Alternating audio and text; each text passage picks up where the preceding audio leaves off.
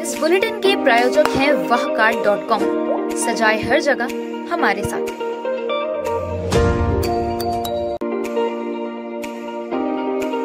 इंदो technical institute, रोजगारोन्मुख व्यावसायिक प्रशिक्षण।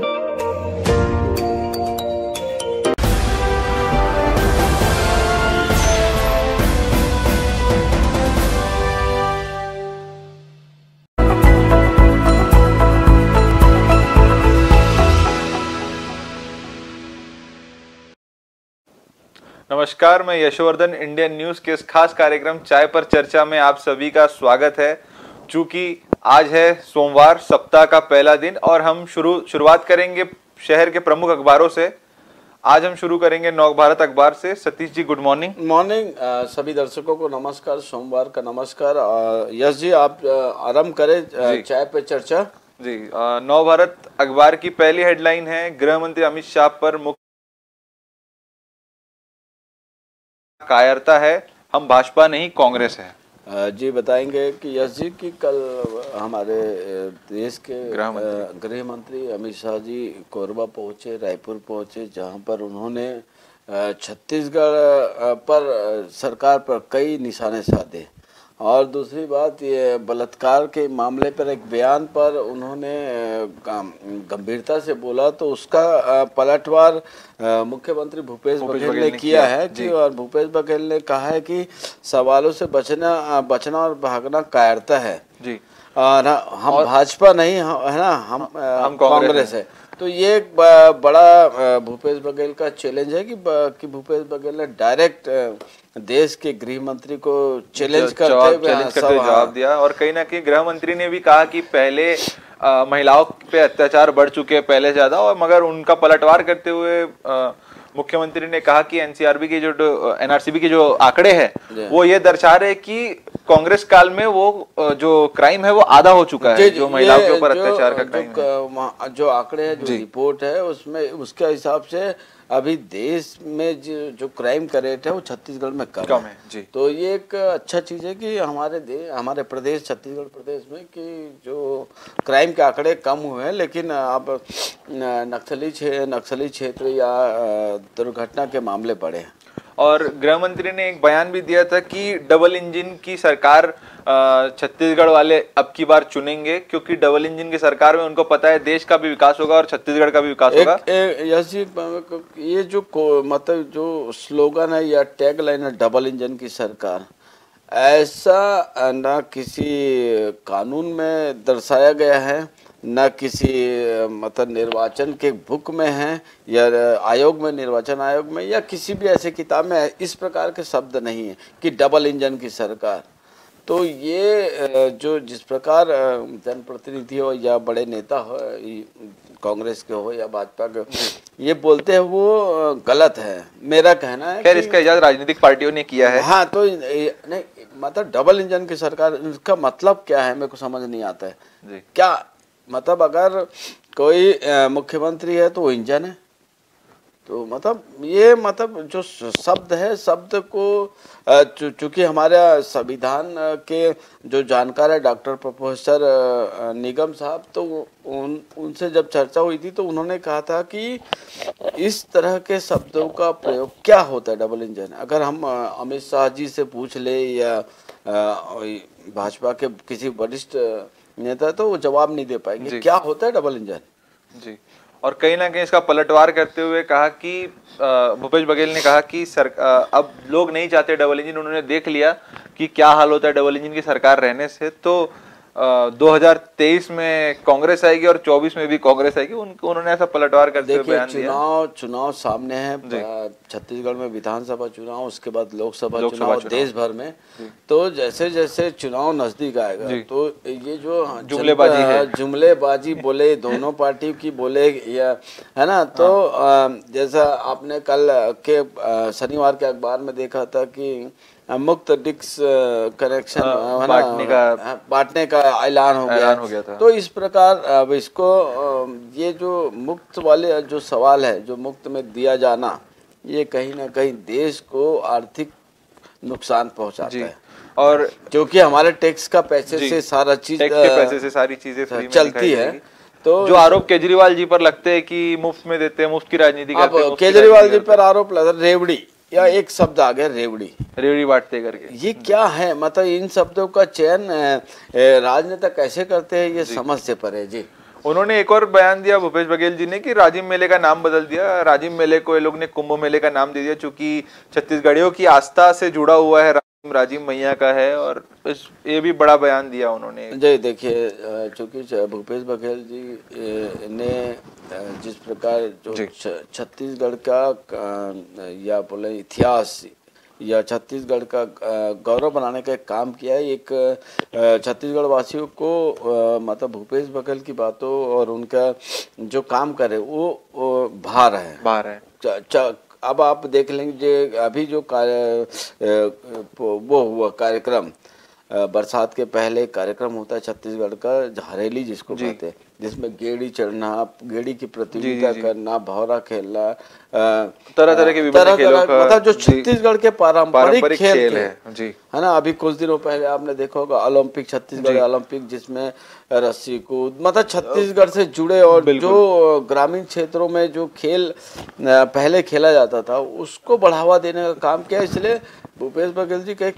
मैं मैं चूँकि मैं किसी पार्टी का फॉलोअर नहीं हूँ पत्रकार हूँ तो मेरा मानना है कि भूपेश बघेल जी का जो ग्रामीण खेलों के प्रति या ग्रामीण व्यंजनों को प्रोत्साहन करना ये भूपेश बघेल जी के लिए प्लस जाएगा। मुझे लगता है कहीं ना कहीं डॉक्टर रमन सिंह जी पूर्व मुख्यमंत्री उन्होंने छत्तीसगढ़ में ये सारे चीज़ें लागू करने से कहीं ना कहीं वो चुक गए। हाँ ये तो हम मान सकते हैं मान सकते क्या ये हुआ है कि अगर आप छत्तीसगढ़ के मुख्यमंत्री रहे और छत्तीसगढ़ के या उनके खेलों को या उनके व्यंजनों को या उनकी धरोहर को। बचाने का प्रयास नहीं हुआ है। रोड सड़क और बड़ा बिल्डिंग या बड़े मॉल बना देने से नहीं लोगों के दिल पे राज करना चाहिए मगर डेवलपमेंट भी तो ज़रूरी है। डेवलपमेंट ज़रूरी है। डेवलपमेंट के लिए नहीं डेवलपमेंट किया है। मैं मान रहा हूँ। सड़कें बनाई है नया रायपुर का जो। सेटअप पूरा खड़ा किया बहुत अच्छा है। लेकिन जो ग्रामीण लोगों के बीच में जो आज भूपेश बघेल जी जिस प्रकार मतलब हर पारंपरिक खेल को बढ़ावा दे रहे हर पारंपरिक छत्तीसगढ़ के व्यंजनों को बढ़ावा दे रहे गोबर जो खरीदी वाला चल रहा है नरबा गुरुबा बाड़ी जो बाड़ी योजना इतनी बेहतरी बेहतर योजना मैं मानता हूँ क्योंकि मैं जब रिपोर्टिंग के लिए वहाँ गया तो आपको जानकारी होगा कि पहले जो छत्तीसगढ़ के जो ग्रामीण क्षेत्र थे वहाँ जो दबंगों द्वारा सरकारी भूमि पर कब्जा कर लिया जाता था और किया गया था।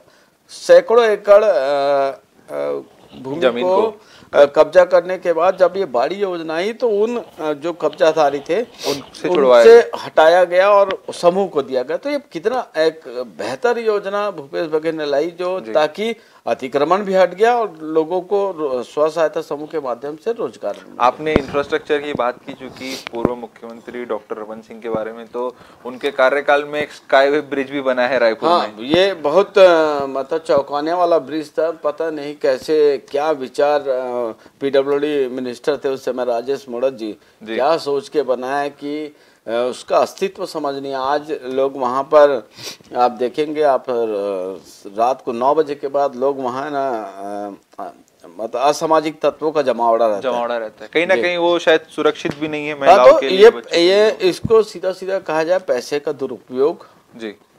जी। जी। और एक और चीज़ है कि मज़ाक ना करे आरक्षण विधेयक लटकाया ये भी मुख्यमंत्री भूपेश बघेल जी का एक बयान है। ये भूपेश बघेल जी बार बार ये शब्द कह रहे हैं कि राज्यपाल जी को दबाव है केंद्र से का।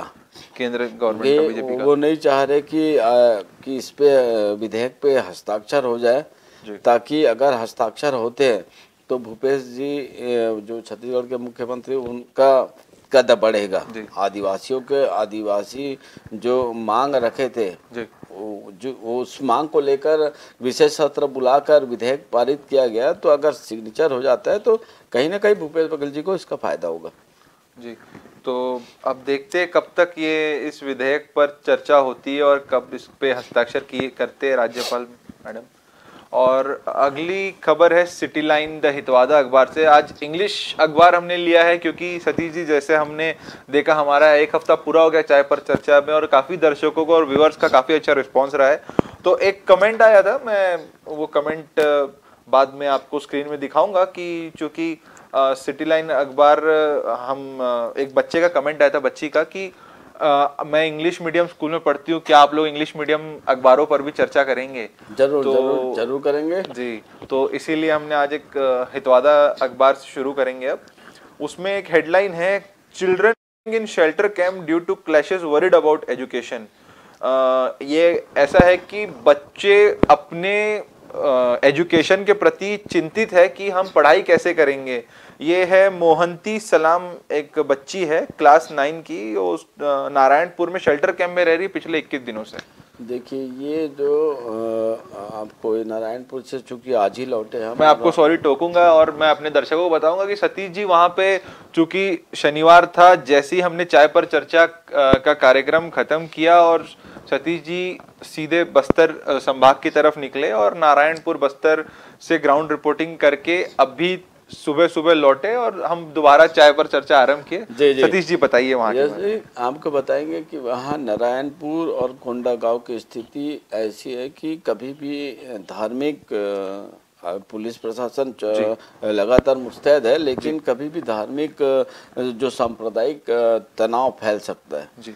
आप वहाँ पर मैंने देखा है जो क्रिश्चियन कम्युनिटी के लोग हैं जो धर्मांतरित हुए हैं। जो। और हाँ, आपको टोकना चाहूँगा धर्मांतरित शब्द का इस्तेमाल नहीं करूँगा क्योंकि वो जब उनसे मेरी बात हुई वहाँ के लोगों से जो जिनको गाँव से भगा दिया गया है तो जब उनसे मेरी चर्चा हुई तो उनका ये कहना था कि हम प्रभु यीशु को मानते हैं।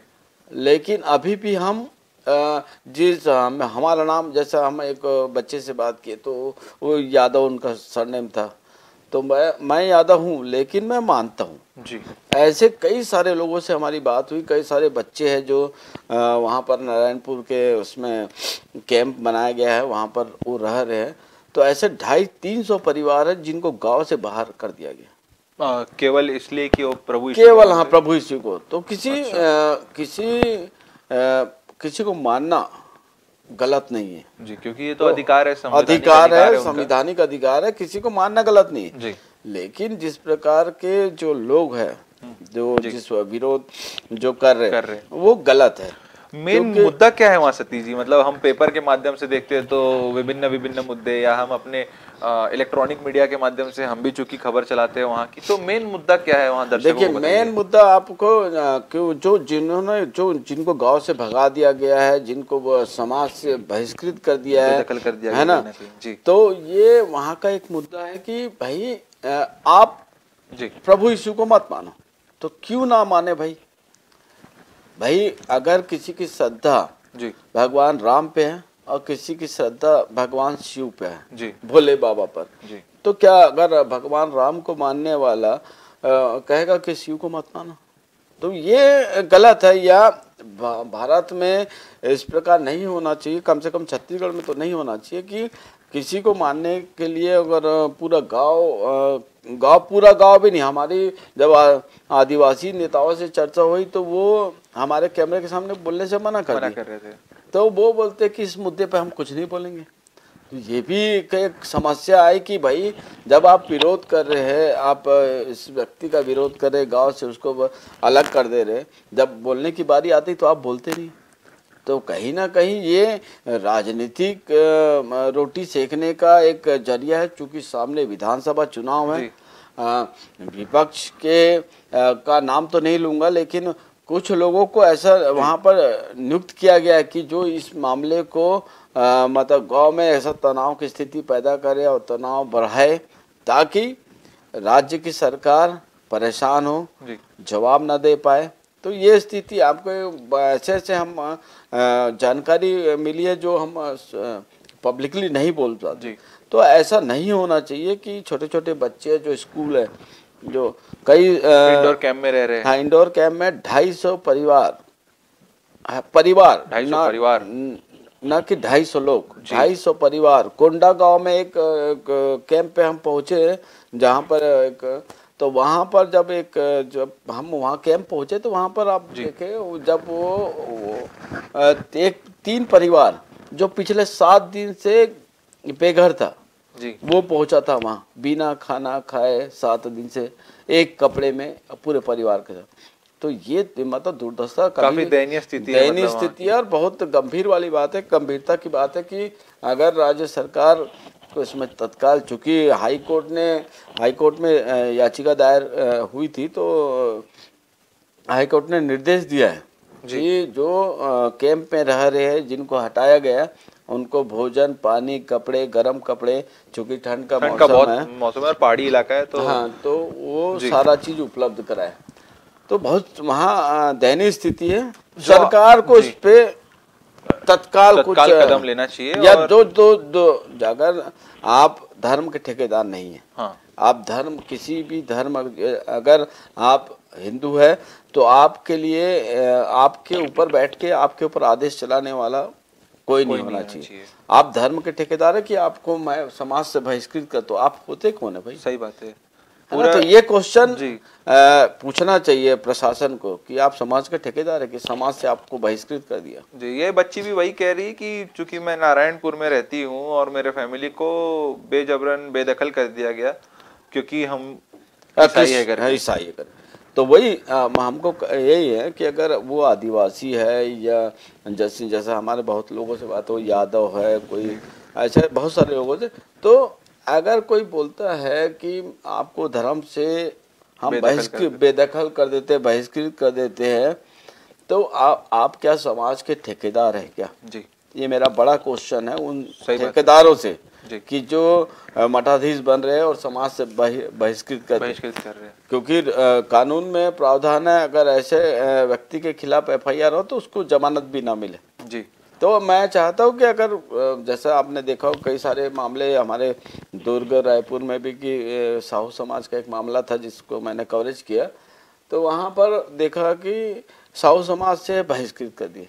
जब हम वहाँ पहुँचे और जो पीड़ित थे उन्होंने हमको इंटरव्यू दिया और बताया तो हमने एक ही सलाह दी कि भाई कानून के पास जाइए। पास जाइए कानून तो जब वो वो पहुँचा तो उसकी रिपोर्ट संबंधित थाने में नहीं लिखी गई। जी। तो उसे वरिष्ठ अधिकारियों के पास जाके उसके बाद एफआईआर हुआ उन ठेकेदारों के खिलाफ जो समाज के ठेकेदार बनते हैं जो किसी को निकालना रखना ये समझ से परे है ऐसा ठेकेदारी प्रथा बंद होनी चाहिए। बिल्कुल। और कहीं ना कहीं आपने जो देखा वहाँ पे चूँकि आपने वहाँ पे हकीकत देखी ग्राउंड रियलिटी देखी तो प्रशासनिक दबदबा है वहाँ पे या असामाजिक तत्वों का दबदबा है। नहीं नहीं मैं ये ये बात गलत है कहना गलत होगा कि प्रशासनिक दबदबा है।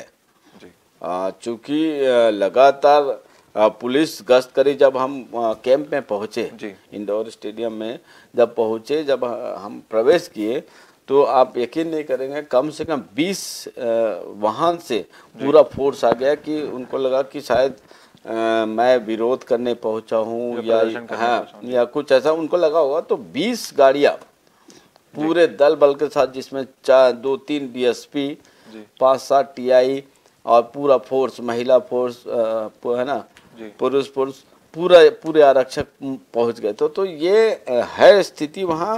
मतलब प्रशासन सेंसिटिव है लेकिन कंट्रोल प्रशासन ने कंट्रोल आप जब सिटी के अंदर गए तो रोज़मर्रा के जीवन में जीने वाले लोगों के लिए दुकानें वगैरह क्या खुली थी नहीं, या दुकान दुकानें खुली है लेकिन आप जैसा नारायणपुर प्रवेश करेंगे तो पहले नारायणपुर प्रवेश करते साथ एक बैरिकेड बनाया गया जहाँ पर कम से कम गन मैन पाँच सात दस लोग खड़े हैं उसके बाद आगे जाएँगे फिर बैरिकेड्स लगा है।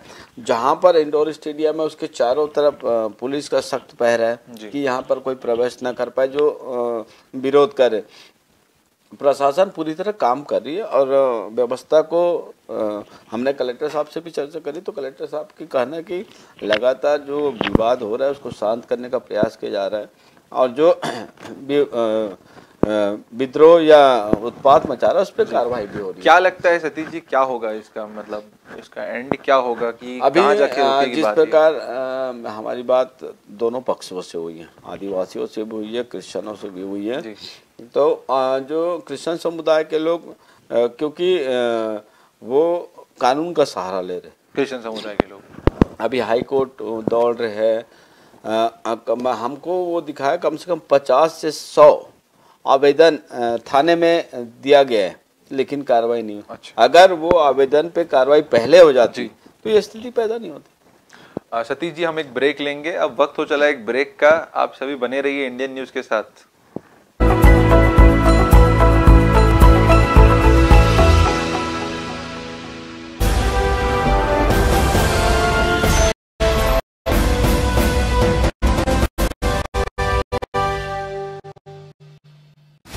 पूरे भारत में कहीं भी कभी भी सबसे कम किराए पर बुक करें one way taxi Rahul travels dot com पर Looking for a reliable online shopping site? Welcome to walkheart.com. We offer the best quality products at the lowest price with easy and fast delivery options. Search, discover, and choose from a wide selection of lifestyle essentials such as home decoration, garden decoration, hotel decoration, fountains, donation boxes, school products, kids' corner, sports, tent decoration, wide range of cricket bowling machines, and many more. We combine innovation and tradition to give you the best in the market. Interior designers may contact to be our privileged customer on 74005. 74005.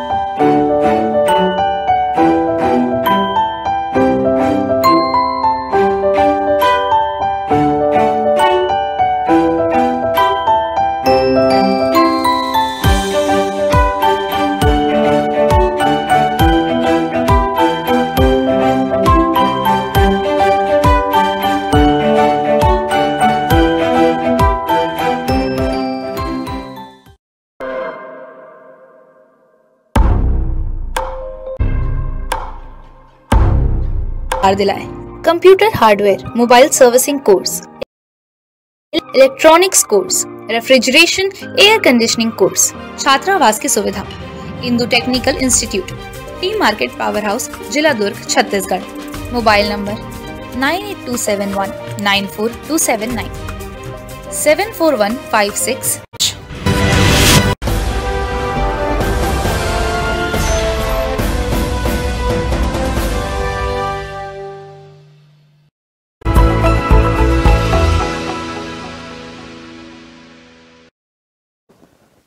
break के बाद आप सभी दर्शकों का स्वागत है Indian news के इस प्रोग्राम में चाय पर चर्चा में। सतीश जी हम नारायणपुर और बस्तर की बात कर रहे थे ब्रेक के पहले तो चूँकि आपने जैसे बताया कि वहाँ पे जो हालात है वो सेंसिटिव है काफ़ी। और उसी तरफ़ जैसे नारायणपुर में आपने कहा क्या बस्तर में भी सेंसिटिव है हालात? देखिए बस्तर का कुछ पार्ट जैसे अभी नारायणपुर और कुंडा गाँव के आसपास के ग्रामीण क्षेत्रों में ये स्थिति है। आ, कुछ अभी जैसा हम अंदर गए तो वहाँ पर भी ये इसका जो असर, असर दिख रहा है कि वहाँ पर भी कुछ लोग विरोध कर रहे लेकिन स्थिति सामान्य आपको ये बताएँगे जब बस्तर हम गए और बस्तर में धू नक्सली क्षेत्र जहाँ पर प्रदेश सरकार बोलती है केंद्र सरकार बोलती है हम विकास करें। तो मैं आपको बताना चाहूँगा हम हमारे चैनल के माध्यम से हम आज हम न्यूज़ प्रसारित करेंगे। आप उसमें सच्चाई देखेंगे कि कितना विकास वहाँ हुआ है। आज भी लोगों को तालाब का पानी पीने मजबूर है जो वहाँ पर झरिया कहते हैं। वहाँ से पानी निकालते तालाब से उसको उसी साफ़ उसको पीते हैं। उसी से नहाते हैं उसी से दैनिक काम करते हैं। तो ये स्थिति आज भी है आज देश को आज़ाद हुए पचहत्तर साल हो गए। हम आज़ादी का चूँकि अमृत महोत्सव हाँ, मना रहे। महोत्सव मना रहे। मेरे को समझ नहीं आ रहा है हम अमृत महोत्सव क्यों मना रहे उन आदिवासी या जो दूर दराज के ग्रामीण है वहाँ तक विकास ही नहीं पहुँचा है। स्कूल की बात करते कि यहाँ यहाँ पर स्कूल शहर में बड़े बड़े गवर्नमेंट स्कूल बन रहे वहाँ स्कूल तक नहीं है। क्योंकि हम हम अपने आँख से देखे इसलिए हम बोलने से कवर किया हाँ। है ना? अगर किसी का स्वास्थ्य खराब हो जाता है तो आठ किलोमीटर उसको खाट में टांग के ले जाते हैं। तो ये स्थिति वहाँ की है। तो आप विकास या स्वास्थ्य सुविधाओं को बढ़ावा देने की बात जो सरकारें करती है या केंद्र की हो या राज्य की हो ये मतलब कल कल आपने एक खबर भी जैसे हमने बस्तर से आपकी भेजी हुई खबर थी कि जो पानी वाली आपने बात कही और वो गाँव में पहुँचने का सिलसिला भी आपने मुझे बताया कि गाड़ी रोक हम हम पहुँचे थे रोड जहाँ तक सड़कें बनी थी वो सड़कें का डेड एंड जिसको बोलते हैं उसके बाद वहाँ से आठ किलोमीटर हम पैदल चले। जी। तो वहाँ जाने के बाद स्थिति देख के लगा कि क्यों एक जो वहाँ ग्रामीण है क्यों मतलब विरोध करता है सरकार का? जी। वो मांग करता है कि मेरे को सुविधा दो। लेकिन नहीं मिलती। तो हम आप कल इस पे दोबारा बात करेंगे क्योंकि वक्त हो चुका वक्त, वक्त हो चुका है जाने का। आ, सभी दर्शकों को पुनः हम आप बताएँगे कल हम बस्तर पे चर्चा जारी करेंगे और इसी के साथ हम अपना चाय पे चर्चा समाप्त करते हैं। सभी दर्शकों को हम पुनः बोलते हैं कि इंडियन न्यूज़ पर बने रहे। आप सभी का धन्यवाद। धन्यवाद।